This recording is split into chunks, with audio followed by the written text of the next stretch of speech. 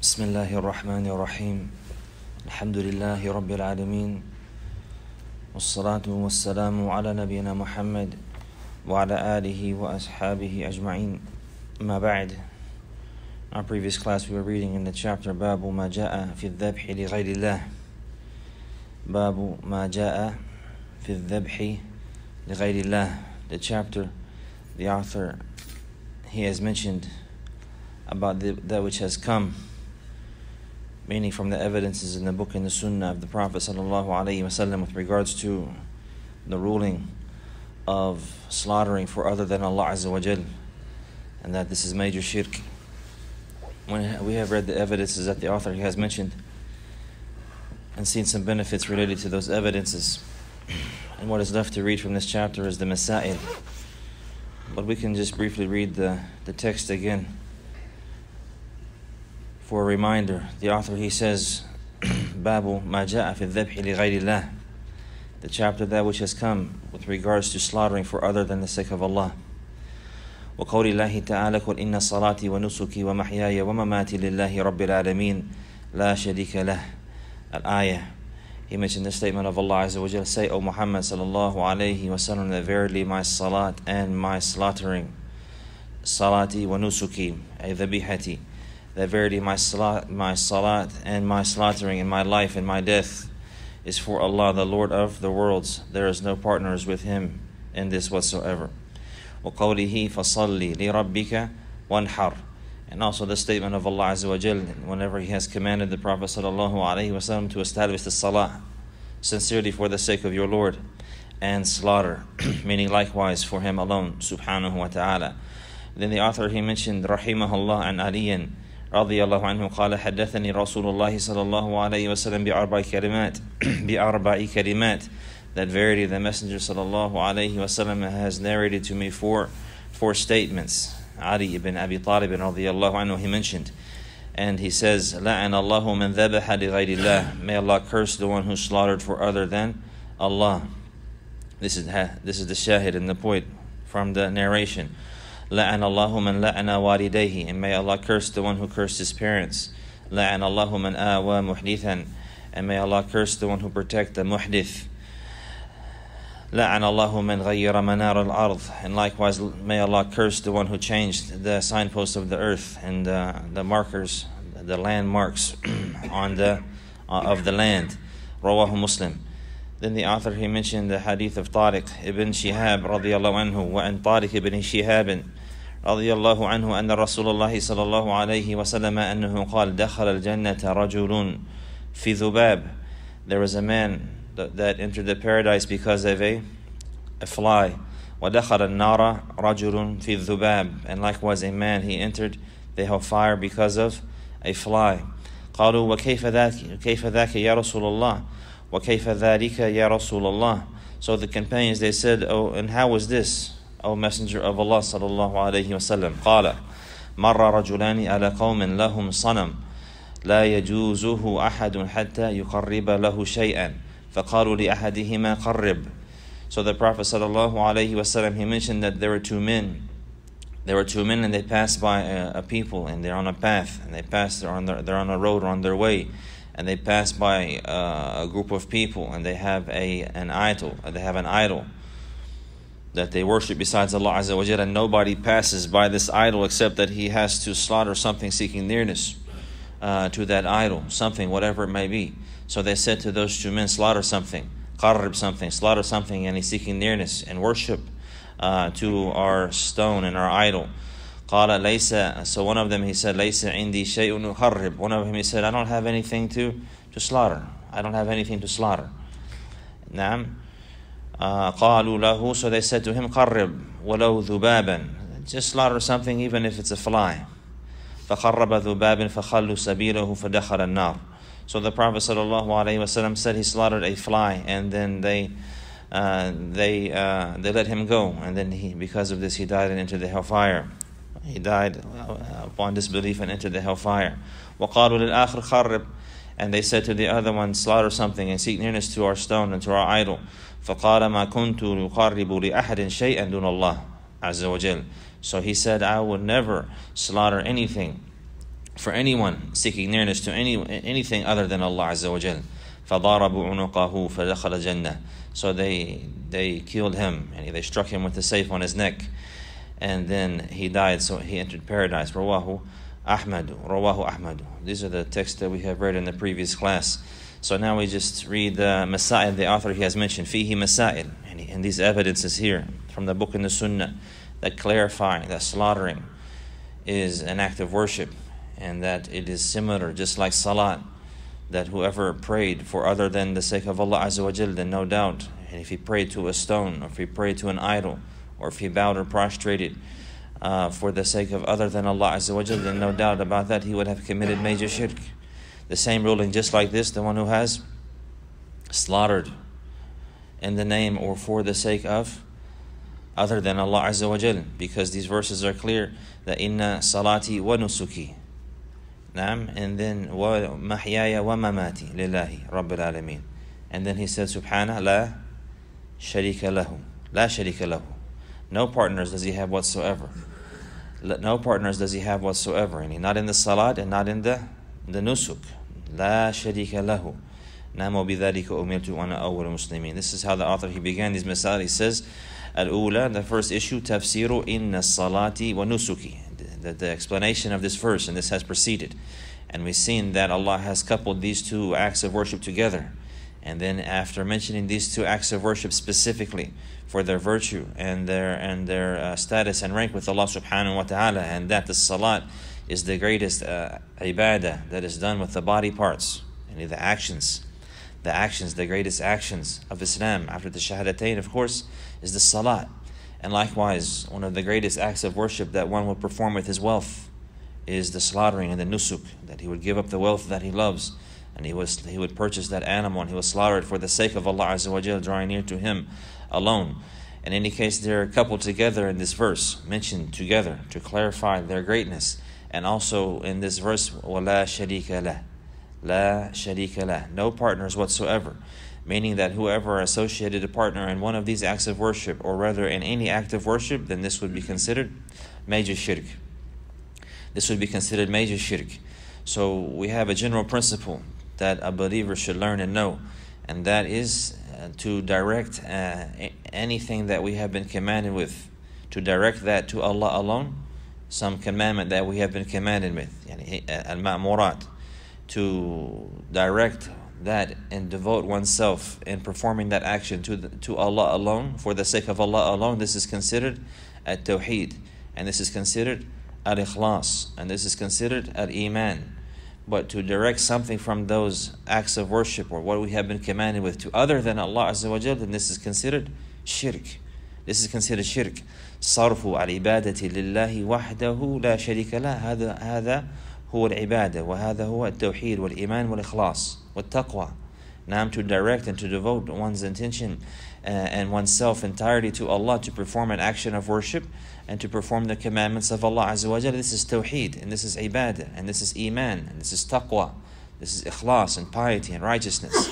As for if someone were to direct something from that act of worship and he, the intention to, to perform one of these acts of worship that is established in the deen of Allah, that it is worship, that it is ibadah, we are commanded to, to perform it to direct one's intention to other than Allah with regards to this, then this is shirk. This is major shirk. And this is the case here. So just as salat is established ibadah, also slaughtering al-dhabiha or nusuk is all or dhabh, this is also an established ibadah. So to do that for other than the sake of Allah Azza wa Jal is major shirk. Is major shirk. Naam. طيب likewise the, the second verse he says والثانية تفسير وفصلي لربك وانحر فصلي لربك وانحر then and then pray for the sake of your Lord with ikhlas and he established the salah wanhar and slaughter and slaughter the animal. So likewise here again we have another verse and Allah Azza wa Jal is commanding His Prophet sallallahu alaihi wasallam to establish the salat, just like in the previous verse, and likewise to slaughter. Put in this this this verse is a command for salli li rabbika wanhar. The other verse inna salati wa nusuki lillahi rabbil alamin. And after the end of the verse la sharika lahu. And so this is clear that these are acts of worship that are pleasing to Allah Azza wa Jalla. Allah has commanded them. Allah has commanded them, so they must be for the sake of Allah alone And they're coupled here again also to show the status and the rank. In our previous class, we have seen that الذبح الذبح يكون عب- آه، شركا يكون شركا يعني من جهتين الذبح قد يكون يعني إذا كان شركا يكون شركا آه، من جهتين that shirk it can be I mean excuse me to slaughter for other than the sake of Allah الذبح لغير الله يكون شركا من جهتين Mahoma To slaughter for other than the sake of Allah would be, be considered shirk from two aspects.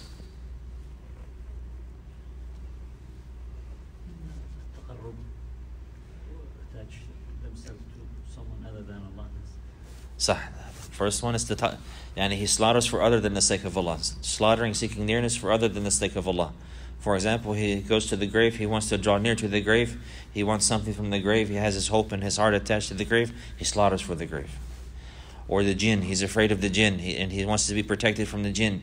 And and so he slaughters seeking nearness to the jinn seeking the, the yani, for, for out of fear of them and, ho- and hoping to be safe from them and protection from them. So he slaughters for them drawing near to them. This is from this is one aspect Ah, tasmiyah. At tasmiyah. The second and the second aspect is at tasmiyah. At tasmiyah to mention other than the name of Allah Azza wa Jal. Uh, before slaughtering. How is that? How is that uh, considered shirk? The first one is considered shirk from at-taqarrub, yani the actual act of ibadah, drawing near and seeking nearness, hoping for uh, a benefit from the one he's slaughtering for, or protection, or uh, hoping for their benefit and protection, or fearing their harm. but how is the tasmiyah considered ibadah? Yani meaning that if it's done for the sake of Allah, it's ibadah, but if it's done for other than the sake of Allah, then this is shirk. How is that? تعظيما ل- لما- لمن يسمى يعني هذا نعوذ صح. That's one aspect, huh? تعذيبا, but the statement. the statement. Worship to, to, to, to say Bismillah is a state, is an act of worship. So to say something other than that, in, in this action, is, is shirk. صح.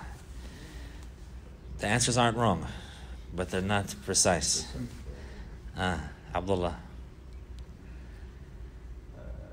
حينما يذبح يذبح يقول باسم غير الله فيستعين بغير الله الاستيانة بغير الله الاستيانة بغير الله يعني whenever you say Bismillah the ba here is for istiana to seek help to seek help to seek aid so we see that the word Bismillah when we say Bismillah we really this is a, a means of seeking the help from Allah seeking his blessing by beginning with his name first but also seeking his help and his aid seeking his help and his aid You yani some of the supplications and the adhkar the, the, the purpose from them is to seek Allah's help Allahul Musta'an you say Allahul Musta'an and you, oh Allah help me. And that's the meaning. Allah is the one whose aid is sought. Meaning Allah Allahul Musta'an. Now I'm like this also from the Bismillah. Bismillah. you hope for Allah's help. Whenever we say Bismillah, we're mentioning His name and hoping that He will aid us and support us and facilitate for us our deed and our action or our statement. So, I mean, the, the ulama, they derive this from the, the linguistic benefit. The ba is al-istiyan, ba al-istiyana. نعم so Bismillah يعني ب- يعني أستعين ب- بذكر الله عز وجل I seek aid in my action by mentioning the name of Allah عز وجل invoking Him hoping that He will help me Nam, so whenever they slaughter in the other than the name of Allah Azza wa Jalla, then this is uh, shirk from the aspect, specific aspect of Aristiana. Nam, and this is one of the greatest acts of worship. Iyaka na'budu wa and nasta'in. Allah combined those together in the Fatiha, and there is no way to worship Allah except with His aid and support except with His aid and support. So we see that the person if he slaughtered for other than the sake of Allah in other than the name of Allah then he had made shirk with Allah in two aspects. The first one is yani, the greatest affair which is to draw near to other than Allah to seek uh, to seek the reward or the help or the aid and to seek to have his heart attached to other than Allah. And the second aspect is by mentioning other than the name of Allah. And this is shirk and isti'ana specific type of ibadah. And we've seen that there is four uh, cases like that likewise so what if he he slaughtered for the sake of Allah and other than the name of Allah now it's still shirk it's still shirk he said he's only slaughtering for the sake of Allah uh, but in the name of the wali uh, in the name of the wali he's making the wali the wasita and he only for the sake of Allah but the wali in the name of the wali. Or if he slaughtered in the name of Allah, but for the wali. Ah, st- still shirk. Nah. Not until he slaughters uh, in the name of Allah for the sake of Allah. Nah. What if he slaughtered in the name of Allah just to have some meat or to feed a guest? This is permissible. This is permissible. Ah, nah, but it's not the ibadah. It's not ibadah like dhabiha or aqiqah. يعني, uh, excuse me, الأضحية. This is a, s- an- a s- a specific act of worship. As for the isti'ana and the likes, this is definitely ibadah, but it's not slaughtering, seeking nearness to the sake of Allah. This is slaughtering to have uh, halal food and halal meat, and this is permissible. If a person he had a good intention when he did that, he can turn it to ibadah, slaughtering that which is permissible, slaughtering in the way of the sunnah, having this food that is good for me and my family, that I can feed them upon that which is correct and halal, having this intention. Now it could turn it into ibadah, but the origin is this is something that's permissible and mubah. Permissible and mubah. Now, so this was the benefits we've seen from inna salati wa nusuki wa fasalli li rabbika wanhar. That, uh, that uh, this is ibadah, nusuk and slaughtering. And the nusuk here is, was, uh, as Mujahid mentioned, this is with regards to the slaughtering in the days of Hajj, yani, which is the actual act of worship. It's an actual rite from the rites of Hajj, and this is an act of worship. It must be for the sake of Allah alone. Likewise, whenever this verse was, was revealed here about Al Kawthar, Fasalli li Rabbika har many of the ulama they mentioned that this is with refer, reference to the ulhiya as well, to the ulhiya as well on the day of Eid. Fasalli, and Salat al Eid, har al Udhiyah That you pray the Salat of Eid, and then also after that you slaughter the animal. Now, so these are with regards to the, the legislative slaughtering of the animals that is a means of seeking nearness to Allah Azza wa Jal by complying to His commandments. The author he says الثالثة البداءة بلعنة من ذبح لغير الله. Also in the in the hadith of Ali radiallahu anhu, we've seen that the Prophet sallallahu alaihi wasallam he mentioned that four type of people are cursed. And he began with uh, cursing the one who slaughtered for other than the sake of Allah, and he indicating the greatness, and he beginning with the one that was most severe. So this indicates likewise uh, a clear uh, issue that uh, this is something that is haram, rather it is major shirk. Uh, the Prophet sallallahu alaihi wasallam said, "May Allah curse the one who slaughters for other than Allah." What does it mean? May Allah curse so so and so, or such and such. I mean, the curse of Allah be on them. Uh, what does the curse of Allah mean? Al-ibad wa tardu min rahmatillah to be to be cast far away from the mercy of Allah, and that Allah ar-Rahman will not have mercy on him. That's what it means. To, to may, may Allah curse him, meaning may Allah not show ever, show him mercy ever. Uh, may Allah not show show him mercy ever. If there's no mercy from Allah upon this person, what what does he have? That he he would never have good. Now, so this is uh, this is very severe. This, this is very this is very severe very severe. The Prophet sallallahu alaihi wasallam may Allah curse the one who slaughters for other than Allah. Now, الرابعة لعن من لعن والديه. Also from the benefits of these texts, the author he mentioned cursing the one who cursed his his parents. ومنه أن تلعن والدي الرجل فيلعن فيلعن والديك. And from the aspect of this, and he cursing uh, your parents, cursing one's own parents, is that one would curse the parents of another person, and he will curse his parents. Now, this is also from the understanding. Now, cursing one's parents like directly, saying cursing them out. The word cursing here has two meanings. Whenever it was related to re, re, related to Allah, may Allah curse him. This we have seen the previous meaning, and to may Allah not have mercy on him. May, may he be cast far away from the mercy of Allah. Another aspect of cursing, and la'an also is a seb, shetem, to curse him out, and to call him bad names, to call him names and talk bad about him. Now, in his face, And his face, to call him names and talk bad about him. So the one who talks bad and calls somebody's parent's name, and they in turn call his parent's name, this is as if he has uh, cursed his own family. This is as if, as if it's considered as if he has cursed his own parents. This is what the Prophet wasallam has referred to. Uh, similar like this uh, has come in the in the in the Quran. Uh, Allah Azza wa Jal, He has mentioned, وَلَا تَسُبُّوا الَّذِينَ يَدْعُونَ مِن دُونِ اللَّهِ فَيُسُبُّوا اللَّهَ بِغَيْرِ عِلْمٍ فَيُسُبُّوا اللَّهَ عَدْوًا بِغَيْرِ عِلْمٍ That Allah has said, do not curse the, the idols, those whom they call on besides Allah, because then they will curse Allah without knowledge, or tra- in transgression and without knowledge. So Allah Azza wa Jal has forbidden cursing the idols that, uh, uh, that are worshipped besides Allah, the idols and the gods of the mushrikeen and to talk bad about them, this is something beneficial and good. To belittle them and to lower them, this is no doubt, this is good. and we don't honor the idols and these false gods and show respect for them. But because uh, the the possibility that if one were to speak bad and to and to uh, speak ill of those uh, false gods, that those who worship them and are attached to them may in turn curse Allah, which is great, which is very great, then it's not permissible.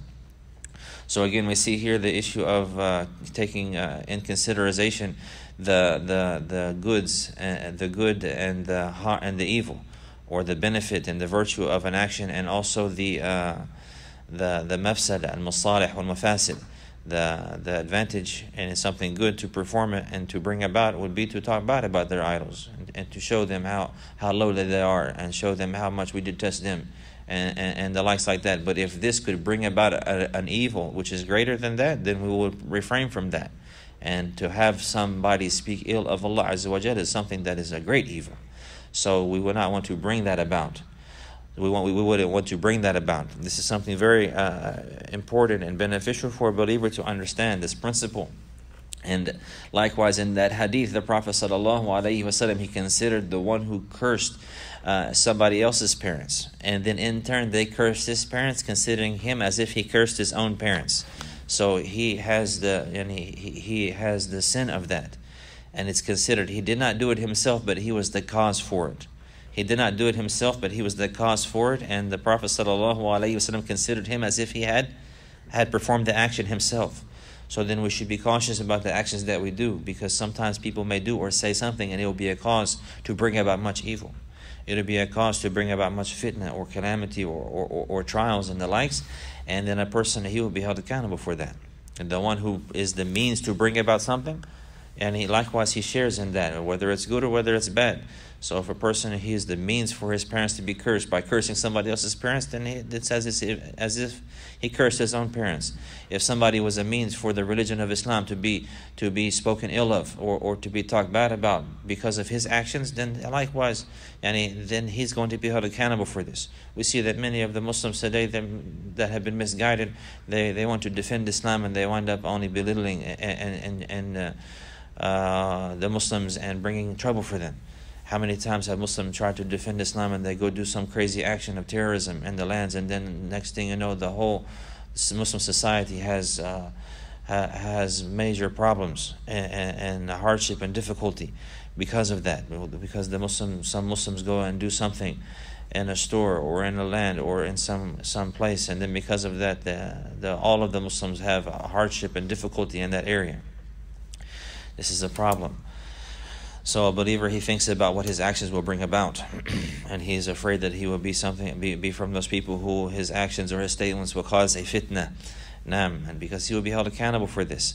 Likewise, the author he says al khamisa la'anu man awa muhdithan the curse for the one who has uh, protected uh, and given refuge to a muhdith, yani somebody who has introduced an innova- innovation in the deen of Allah or somebody who has committed. Uh, uh, a major sin that he is required to be held accountable for, and he is hiding him uh, and uh, giving him refuge from the authorities, or he is protecting an innovator, so on and so forth, or giving an innovator refuge.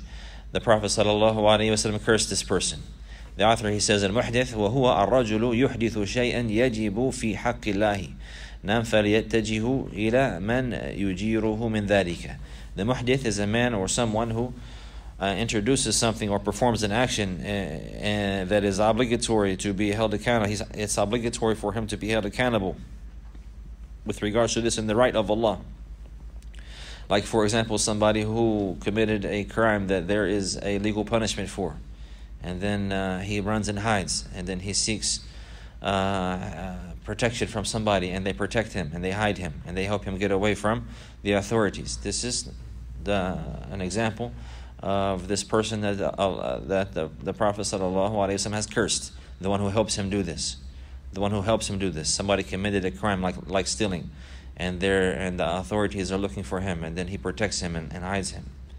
Or somebody committed a crime like zina, and then has been established upon him, and then he flees, and the likes like this. And the Muslim ruler is going to establish the, the hadd on this person, and somebody hides him and helps him. Uh, gives him refuge to, to go away like this. Likewise, somebody who is a known innovator and he's establishing innovation, and somebody protects him and aids him and supports him and gives him refuge.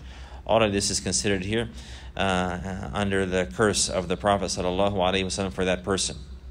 For that person. If that's the case for the person helping him, what about the person who did it?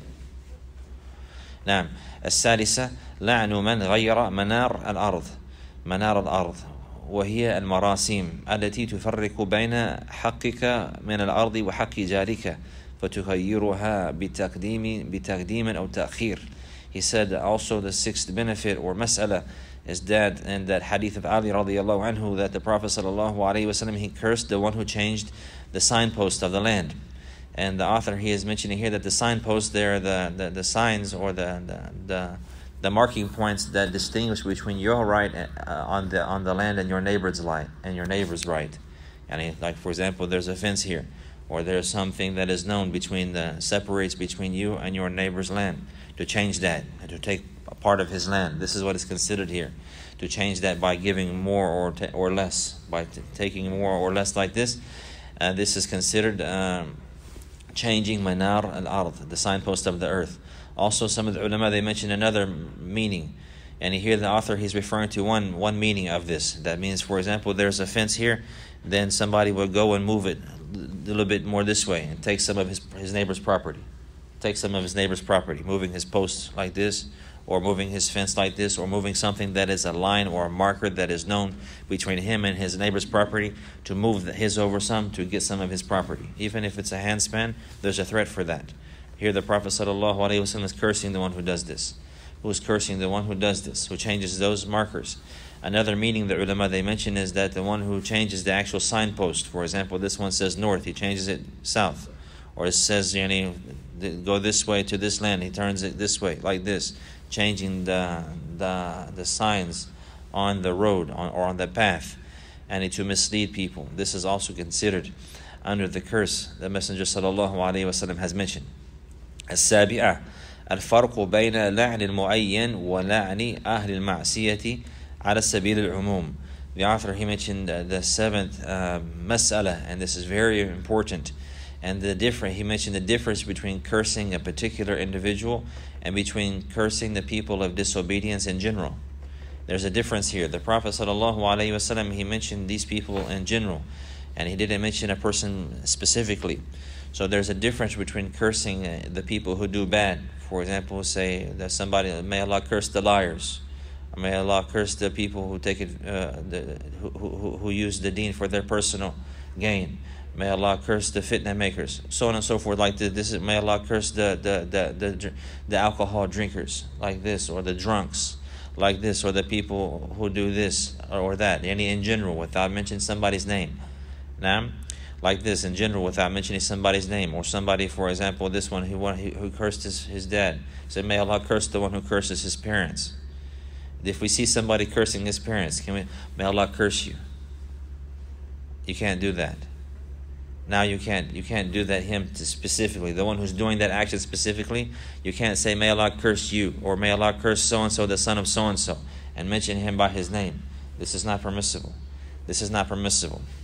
There's a difference between cursing in general the people who do a specific evil deed and and cursing an individual by his name specifically.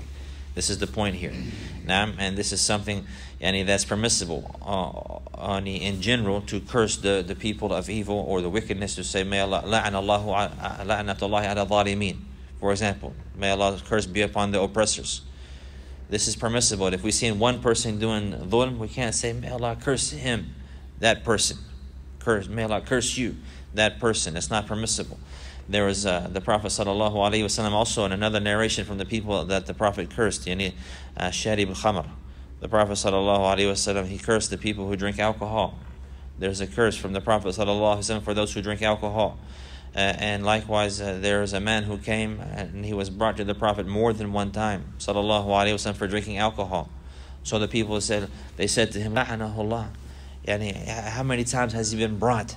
He's been brought three, four times and for drinking alcohol. How many times may Allah curse him? The Prophet ﷺ heard that. La. He said, they said, he said, don't curse him.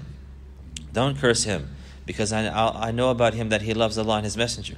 So there's a difference between cursing uh, in general the people of sin and and the people of evil and so on and so forth, and, and, and cursing a specific person, a specific person. This is what the author is mentioning here. Also, from the same idea, likewise, is to, for example, the people uh, of disbelief, like the Jews and the Christians. In general, we say that they're in the fire. The belief of a Muslim, the Jews and the Christians, that they're, they're in the hellfire. They're not in paradise. Not one of them. Not one of them. Naam? Not one of them. This is a belief of a Muslim. Naam? But we don't mention that about so and so, son and so and so. So and so by because we don't know. Maybe he'll maybe Allah will guide him. Somebody that's alive today. We wouldn't say man, that, that all all the Christians are in the hellfire. Naam, in general, the ones who die upon and the meaning of that, the ones who die upon Christianity. There's no doubt about that. All the Jews are in the hellfire. And all meaning all of the Jews that die upon Judaism. They're they're uh, all of the Buddhists are in the hellfire. La shak. Those who all of them who die. I mean they die in that state. That's what they that's their destination and their abode. But to mention, for example, some Jew came in right now, we could have said, "Oh, he's from the people of hellfire." You can't say that about him, because maybe Allah will guide him. We don't know who is Allah. We don't know. Maybe before he dies, Allah will guide him. So to to to mention that an individual from the people of the book or from the disbelievers that he by that individual right there is in the hellfire, that's not permissible, and that's speaking about Allah without without knowledge without knowledge. So a believer, he watch his tongue and also his creed and belief. We, we wouldn't step over the boundaries. That's the right of Allah Azza wa Jal. Whoever he guides, he guides whom he wills. Now many people, they have been the staunch, staunch enemies of the Muslims and then they became the best and the strongest supporters of the Prophet Sallallahu Alaihi Wasallam. Now, so this is the case. We don't we don't uh, you need to curse them all in general, or to mention that they're in the hellfire in general. Nah, but this and this is the creed of a believer. But to mention one of them specifically who's still alive that he's in the hellfire or she's in the hellfire, this is not permissible because we don't know how that person will die. Maybe he will be guided before before he dies, and Allah and Allah knows best. Nah. So the author he mentioned uh, the the eighth one, a thamina هذه القصة العظيمة وهي قصة الذباب and he mentioned the benefit here or the masala just to ponder or to remember that this great great story is the story of the fly and that that we would, we shouldn't take uh, this tawheed lightly Naam, and it's in the heart and that whenever a person's heart is attached to something no matter what it is how small or big it is then then this is a major calamity for him that his heart should only be attached to Allah in all of his affairs and he shouldn't take it lightly oh it's just a fly just one time one just one time two times like this something that's small. I'm just going to hang out with them. Uh, the christians whenever they go to christmas i'm just going to hang out with them and they're going to get put their hands together and they're going to sit at the table and make dua. Uh, and then the, the, the muslim going to go and be like you know it's all good. It's all good and they're going to make dua at the table and the, the, the dad is going to bow their head and then they're going to say in the name of jesus uh, father we thank you for this meal and and then they go through the maybe some brothers don't know about it, that's what they do. So if they invite a, muslim to the dinner they, you don't go to that dinner. You don't go to that dinner. They but they go there and they're going to bless their food in the name of jesus christ. That's what they say. That's what they say. And so in any case we don't take it lightly. Somebody into the hellfire because of a, a of a fly of a fly meaning it's, it, the issue here is, is about tawheed and shirk نعم التاسعة كونه دخل النار بسبب ذلك الذباب الذي لم يقصده بل فعله تخلصا من شرهم So the author he says here the, the issue now is that this man he entered the hellfire because of that fly and he did not even intend it he didn't even intend it rather he did this try to get away from their evil and he, uh, the ulama they mentioned about this statement here of the author uh, that yani meaning that he didn't intend it in the beginning. And he's not going down the path looking for an idol to slaughter for. He is not somebody who slaughters for other than Allah. This person here is not somebody who makes shirk. So he's not going uh, down this road intending to look for an idol to worship other than Allah Azza wa Jal. But whenever the situation came and it, and it arose, he didn't pro- pro- prohibit himself. Rather, he did it. And he, at the time of actually performing that, then he, he slaughtered for other than Allah. He slaughtered that fly for other than Allah. This is why it's mentioned here that he entered the hellfire. And he, so in the beginning, he didn't go on the path seeking any a fly or or anything to slaughter or to worship other than Allah. But in the end, he did that. In the end, he did that. And then so his result is that he's in the he's in the hellfire.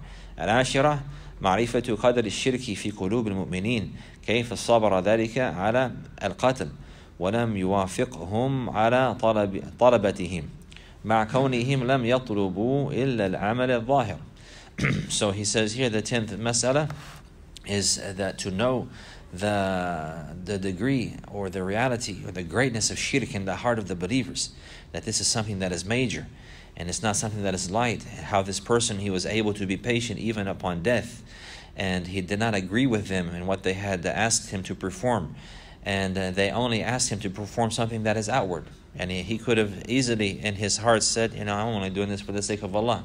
I'm not slaughtering but i'm not slaughtering for this this fly for for the for the for the sake of their idol. But he would do it outwardly and inwardly he would not do it. They didn't they're not able to control his heart and his attention. But because this is something that is major and great in the heart of the believers he was able to be patient upon that. And he was able to be patient upon that الحادية عشرة he says أن الذي دخل النار مسلم he said the one who entered the hellfire he's a Muslim the one who entered who entered the hellfire what did he enter the hellfire for slaughtering a fly نعم he was a Muslim لأنه ك- لأنه لو كان كافرا لم يقول دخل النار في ذباب because if he was not a, a, a Muslim, if he was a disbeliever, he wouldn't mention that oh he, he went to the hellfire because of a of a fly. He went to the hellfire because of a fly. If he wasn't, and meaning that he was a Muslim, and this action took him out of Islam. Because if he was not a Muslim, then he would have been uh, other uh, the actions of disbelief would have been greater than that. There- there- There's no need to mention the fly. He's already a disbeliever. He's already a disbeliever. So this is indication that this person he was from the people of Al Islam. Nam he was a Muslim. نعم and then he left Islam with this action الثانية عشرة فيه شاهد للحديث الصحيح الجنة أقرب إلى أحدكم من ش- من شراك نعله والنار مثل ذلك likewise this is an evidence uh, uh, and a reminder for the believers of that authentic narration that the Prophet sallallahu alaihi wasallam he said that paradise is closer to one of you than the than his uh, his lace on his shoe and likewise the fire is the same way and he meaning that this person uh, there was nothing except for him to die and he once he committed shirk all he had to do after that is die the person who was upon shirk or disbelief then there's nothing between him and and, and that punishment awaiting him in the hellfire is for his soul to leave his body. Uh, is for his soul to leave his body. We know how weak the body is. Naam? that also all, all, only thing that has to happen is his soul to leave that body. And then he will be there experiencing that pain and punishment and torment. Naam? in the grave and in the barzakh. Likewise, the person of paradise and the one who is righteous. Likewise, that there is nothing between him and his pleasure and delight uh, in the, in the paradise except for that he will he will die. That's the only thing that's between the two. So at the time of death, it's one or the other. So a, beloved, a believer he remembers that and he prepares for that day. May Allah give us a good ending. Mm-hmm. معرفة أن عمل القلب هو المقصود الأعظم حتى عند عبدة الأوثان. He mentioned here that the, the 13th and final mas'ala is to know the, the actions of the heart. This is what is intended. The actions of the heart, this is what is intended. Even with the people uh, or this is the main intent, and the greatest intent, the actions of the heart, not the outward appearance, but the main intent is the action of the heart. and even with the people who worship idols, even with the people who worship idols, and they want you to agree with them and to follow their way, and to follow their way, and meaning that one would uh, would would would love their way and like their way. Nam, amrul qalb, the actions of the heart. What are the actions of the heart?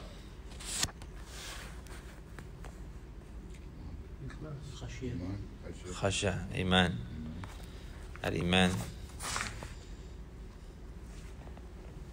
الإيمان الإيمان آه، أصل الإيمان هذا اعتقاد القلب the, the creed of the heart the belief of the heart the actions of the heart they're the hope and love and fear Fear. and uh, and trust and reliance what do you say إخلاص sincerity all of this is from the actions of the heart now هذا وصلى الله على نبينا محمد وعلى آله وصحبه وسلم